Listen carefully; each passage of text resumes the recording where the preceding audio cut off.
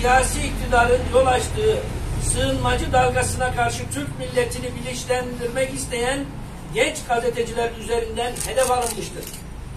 Oysa bu topraklarda gazetecilik milletin derdini dert edinmek ve bunların çözümü için cesaretle doğruları yazıp konuşabilmektir. Gözaltına alınan ve tutuklanan genç gazeteciler de işte bu sorumluluğun bir parçasıdır.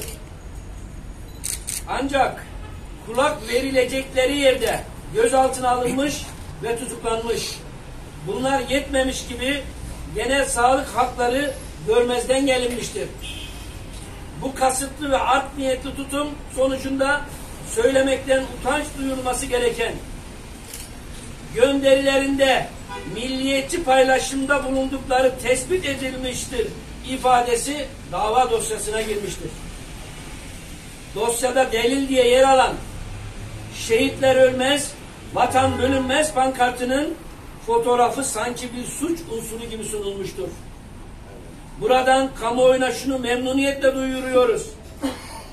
Türk milliyetçisi olmak, Türk milletinin geleceği için paylaşımlarda bulunmak, şehitler ölmez, vatan bölünmez pankartını taşımak asla bir suç olmadığı gibi Türk milletinin her bir ferdinin görev ve sorumluluğundadır. Sözde çözümü Oslo'da, ha burada Kandil'de arayan, posta güvercinleriyle terör örgütü elebaşına mesajlar gönderen iktidar hem sığınmacı gündemini bastırmak hem de sözde çözüm süreci garabetinde yaptığı gibi Türk milliyetçiliğini yeniden mahkum etmeye çalışacaksa buradan duyuruyoruz ki bu tutumun karşısında dimdik bir iyi Parti olacaktır.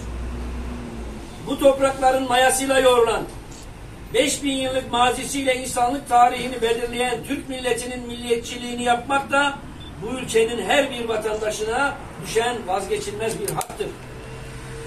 Belirtmek isteriz ki ulu önderimiz olmasından her zaman övündüğümüz Gazi Mustafa Kemal Atatürk başta olmak üzere Ziya Gökalplerden Erol Güngörlere kadar tertemiz Türk münevverlerinin devlet adamlarının yeşerttiği ve büyüttüğü Türk milliyetçiliği düşüncesini İyi Parti olarak savunmayı ve korunmayı sürdüreceğiz.